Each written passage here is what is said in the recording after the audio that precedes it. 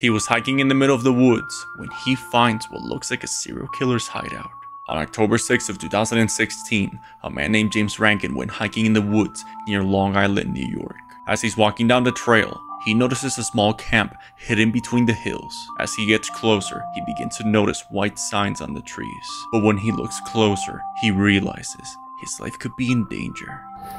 Look what these are. What the is going on in here? He finds posters of missing people taped on the trees surrounding him. Disturbingly, he finds sheets on the ground with empty canned food, a shovel by the campsite, and a strange stick structure. Freaked out but keeping his composure, he takes one of the posters with him so the police could potentially find the fingerprints if needed.